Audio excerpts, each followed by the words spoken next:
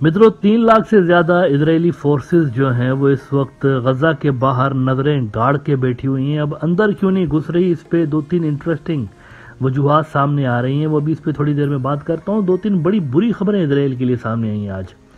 लेकिन उससे पहले थोड़ा बात कर लें हिंदुत्व के ठगों के बारे में। बहुत दिन हो गए हिंदुत्व के ठगों के बारे में ब्रॉडर व्यू के अंदर बात नहीं हुई। कोशिश करता रहता हूँ कि इनकी जो फजूलियात हैं, उसको एक्सपोज करूँ, लेकिन एक बहुत बड़ा वाक्य छिड़ गया है मिडल ईस्ट में तो इसीलिए वहाँ पे ज़्यादातर फोकस जो है वो आजकल है।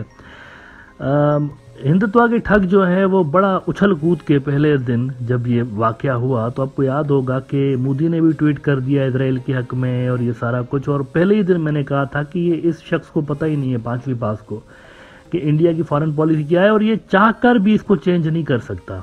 इसराइल के हक में चेंज नहीं कर सकता। इंडिया इतना ज़्यादा अरबों के ऊपर डिपेंडेंट है कि इनकी सोच है। हिंदुत्व की ठगों की सोच है कि वो इसको चेंज चाह कर भी नहीं कर सकते। तो आज ये हुआ है, सॉरी सॉरी करके इंडिया ने पीछे दौड़ लगाई है। और उन्होंने कहा है कि भाई, हम हम, हमने कब इसराइल की तारीफ़ की? नहीं, हम कब भाई? हमने कहा बोला? हम तो हमेशा से लेके फ़लस्तीन के हक में रहे हैं। अब देखें इतने सालों से हमारा यही स्टांस रहा है हिंदी फ़लस्तीनी भाई भाई हम तो फ़लस्तीनियों के लिए अलग मुल्क चाहते हम तो चाहते हैं इसराइल को तोड़ो, दो इससे करो टू स्टेट सोल्यूशन बनाओ भाई। फ़लस्तीनियों को मुल्क दो अपना। हमारा कलेजा ठंडा होगा उनको देख के। हम तो हमेशा से यही देखते हैं। अब इसको देख के हिंदुत्व के जो गुंडे हैं वहाँ पे, वो आग बबूला हो गए कि ये क्या हो गया? ये हमारा मित्र मोदी है गवर्नमेंट में।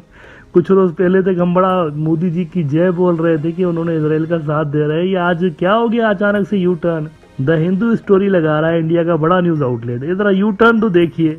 कहते हैं कि India retreats call for sovereign independent viable state of Palestine तोड़ो इसराइल को, बनाओ फलस्तीन। इंडिया डिमांड कर रहा है। ये मुझे फनी इसलिए लग रहा है क्योंकि दो दिन पहले तक की स्टेटमेंट्स देखें ज़रा। मोदी की ज़रा देखिए तो सही किस किस्म की स्टेटमेंट्स हैं उसकी। और आज देखिए क्या बिल्कुल उल्टी गंगा बह रही है।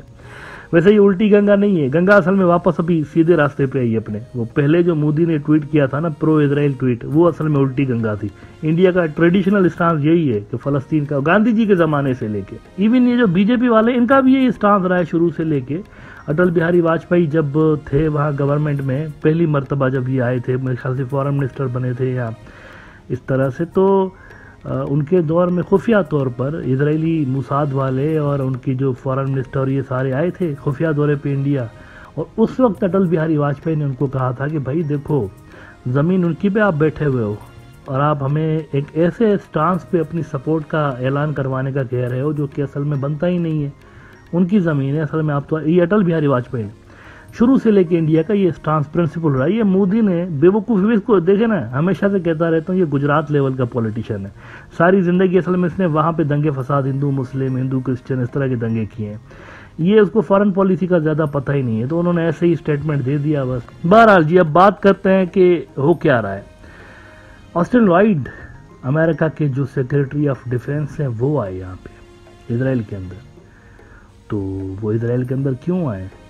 अमेरिका के डिफेंस मिनिस्टर यूँ समझे, क्या अमेरिका इसराइल के अंदर बूट्स ऑन द ग्राउंड दाखिल करना चाहता है? द आंसर इज़ नो वो चाह कर भी नहीं कर सकते। मतलब अगर वो करेंगे भी तो ऐसा फंसेंगे यहाँ, उनको पता है। There is no way out यहाँ से फिर वो मतलब अफ़गानिस्तान से जैसे निकले थे ना, फिर वही सूरत हाल होगी। क्योंकि देखें अभी अभी तो गए हैं। यानी इसराइल इराक में अभी अभी तो गए हैं इतने सालों के बाद। तो क्या मिला? उनको एक्सपीरियंस है उनको मिडल ईस्ट का कि ये एक दलदल है। आ तो जाता है बंदा निकलना बड़ा मुश्किल होता है यहाँ से। तो ऑस्टिन लॉइड असल में आए हैं इसराइल वालों से मुलाकात करने। उनके अननोन नंबर ऑफ़ पीपल फंसे हुए हैं गजा के अंदर अमेरिकन शहरी।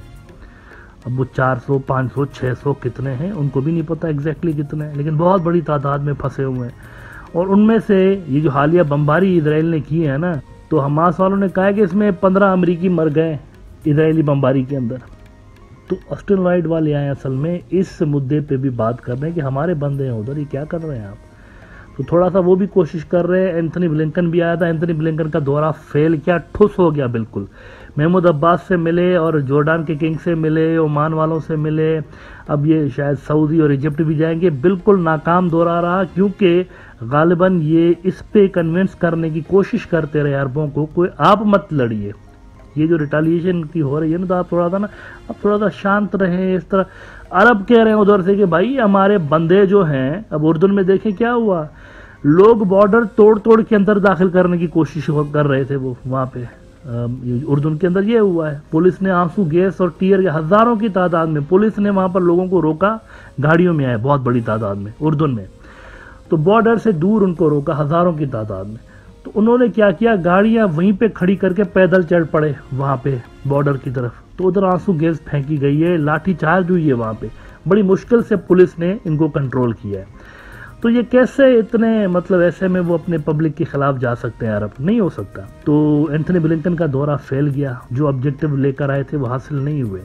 अच्छा अब मैदान पे क्या हो रहा है? थोड़ी सी मैदान की, जो है ना ग्राउंड की खबर आपको बताता हूँ, कि हो क्या रहा है। इसराइल ने ऐलान किया था 24 घंटों के अंदर अंदर। नॉर्थ का जो इलाका है, गजा का खाली कर दो। हम अंदर घुसेंगे। हम जो है ना, जॉन रेम्बो की तरह बिल्कुल घुसेंगे। और फिर जो वहाँ पर रहेगा, उसकी सेफ्टी की जिम्मेवारी हमारी नहीं है। इधर से हमास वालों ने जवाब में कहा है, गजा वालों को, कि ये जब अंदर घुसेंगे, इनका कचूमर बना देंगे हम लोग। आपको ना डरने की ज़रूरत है, ना कहीं जाने की ज़रूरत है। ये जब घुसेंगे ना, इनको लग पता जाएगा। हम बिल्कुल अच्छा वहाँ गजा के अंदर बाय द वे ये बम्बारी सारा तो हो रहा है ना। वहाँ पर जुलूस भी निकल रहे हैं। आज पिक्चर्स मैंने देखी हैं, वहाँ पे गजा में हमास के हक में जुलूस भी निकल रहे हैं। मतलब ये भी दोनों सूरत हाल वहाँ पर है। ये तो मीडिया में बम्बारी और ये सारा कुछ कवर हो रहा है ना, लेकिन रेजिस्टेंस की जो मूवमेंट है, वो शदीद होती जा रही है। जैसे जैसे बॉम्बिंग बढ़ रही है ना तो वहाँ पर बदले की जो भावनाएँ हैं, वो बहुत ज़्यादा तेज़ हो रही हैं वहाँ पर भी। तो हमास ने कहा, मत निकले तो नहीं निकले लोग। चौबीस घंटे का टाइम ख़त्म हो गया। अल जजीरा ने खबर लगाई है कि Israel Hamas live thousands flee but no mass exodus after Israeli warning कुछ निकले हैं, कुछ हज़ार, लेकिन 11 लाख लोग रहते हैं। बहुत बड़ी तादाद में नहीं निकले, थोड़े से ऐसे ही कुछ हज़ार लोग निकले वहाँ से दैट्स इट अलकुत्स नेटवर्क ने ये भी खबर लगाई है थोड़ी देर पहले। अब ये खबर मैंने किसी बड़े न्यूज़ आउटलेट में अभी तक नहीं देखी, लेकिन अलकुत्स जो है वो वहाँ का लोकल न्यूज़ आउटलेट है, गजा का। तो मैं उनकी जो खबर है उसको थोड़ा सा क्रेडिबल ज़रूर मानता हूँ। उन्होंने कहा कि एक हेलीकॉप्टर गिराया है इन्होंने। उसके अंदर पचास इसराइली फौजी थे, ये हमास वालों ने गिराया हुआ है। तो अभी देखते हैं, उस पर ज़्यादा बात इसलिए नहीं कर रहा हूँ क्योंकि बाकी जो मीडिया आउटलेट्स हैं, उनमें ज़रा ये खबर लगे तो ऐसे बहुत सारी खबरें मेरे पास।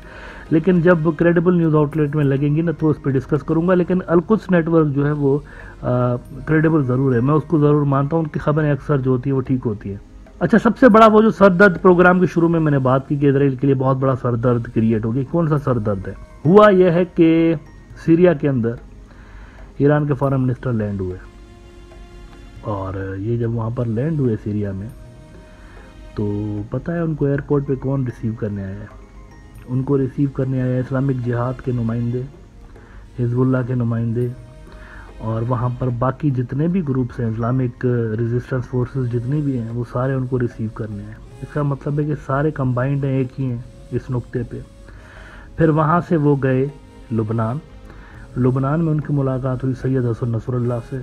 लंबी, चौड़ी मुलाकात हुई। अच्छा हिजबुल्ला जो है, वो दस गुना बड़ा ग्रुप है, हमास से, यूँ समझे। Hezbollah is a man force. उनके पास प्रॉपर आर्मी है, बहुत बड़ी तादाद में यानी लाखों की तादाद में आप बोल सकते हैं। यानी इसराइल के टक्कर की आर्मी उनके पास। 2006 में डिफीट कर चुके हैं एक मरतबा इसराइल को। प्रॉपर जंग में दू बदू यानी फेस टू फेस जंग थी, उसमें इन्होंने डिफीट किया है। तो हुआ यह है कि वहाँ पे हिजबुल्ला के जो लोग हैं, एक बहुत बड़े जलसे से आज उन्होंने खिताब किया और टॉप कमांडर ने उनकी। और उस खिताब में उन्होंने कहा कि बहुत सारे ब्रदर ममालिक हैं, अमेरिका उनको कहलवा रहा है बेसिकली उनके ज़रिए। तो उन्होंने कहा, बहुत सारे ममालिक ऐसे हैं जो कि हमें रिक्वेस्ट कर रहे हैं और एक आध ताकत अमेरिका के लिए भी इनडायरेक्टली उन्होंने कहा कि वो भी मैसेजेस भिजवा रहे हैं कि आप जो है ना, मत कूदिएगा इस जंग के अंदर। इसराइल गजा में जो कुछ करता है ना, आप मत कूदिएगा यहाँ पे। तो उन्होंने कहा, ये क्वेश्चन ही नहीं है। हिजबुल्ला ने कहा है ये क्वेश्चन ही नहीं है। ये अगर कार्रवाई शुरू तो करे ना, पूरा का पूरा एक्सेस ऑफ़ रेजिस्टेंस जो है एक्सेस ऑफ़ रेजिस्टेंस का मतलब है सारी की सारी फोर्सेस जो है, अब ये तो सीरिया के अंदर भी तो सारा अमन है ना ना वहाँ पे दाइश है, कुछ भी नहीं है वहाँ पे। इनका कंट्रोल है पूरा। ये सारे फारग बैठे हुए हैं। इन्होंने कहा, पूरा का पूरा एक्सेस ऑफ़ रेजिस्टेंस लॉन्च हो जाएगा। और ये नहीं कहा कि हम जंग लड़ेंगे। इन्होंने कहा, हम टेक ओवर कर लेंगे तिल अवीब में। उधर बैठ जाएँगे बस। जंग वंग का सवाल ही पैदा नहीं होता, उन्होंने कहा। जाके बैठ जाएँगे बस। ये उन्होंने इसराइल को धमकी दी कि तुम अगर घुसे ना अंदर अंदर तो जो तुम्हें मार पड़ेगी, सो पड़ेगी। लेकिन हम यहाँ पर टेक ओवर कर लेंगे। ये वर्ड उन्होंने अपने जलसे के अंदर यूज़ किया। कि तिल अवीव की जो इंतज़ामिया है, उसको हम कंट्रोल कर लेंगे अंदर घुस के। फ्रांस 24 ने खबर लगाई है। अब ये क्योंकि बड़ी खबर है तो इस पर रेफरेंस क्योंकि ये जंग की डायनामिक्स तब्दील करने वाली खबर है। हिजबुल्ला का मतलब है, मित्रों, रशिया, याद रखिएगा। हिजबुल्ला का मतलब है ईरान। हिजबुल्ला का मतलब आप चाइना भी समझ सकते हैं, क्योंकि रशिया आ गया तो चाइना भी यूँ समझे कि आ गया। हिजबुल्ला अगर कोलैप्स करता है तो यहाँ पर रशिया के डिज़ाइन और चाइना के डिज़ाइन बड़ी हद तक कोलैप्स कर सकते हैं। इनको भरपूर बैकिंग। है लिहाजा हिजबुल्ला की सपोर्ट इस जंग के अंदर समझें कि डिसाइसिव रोल प्ले कर सकती है।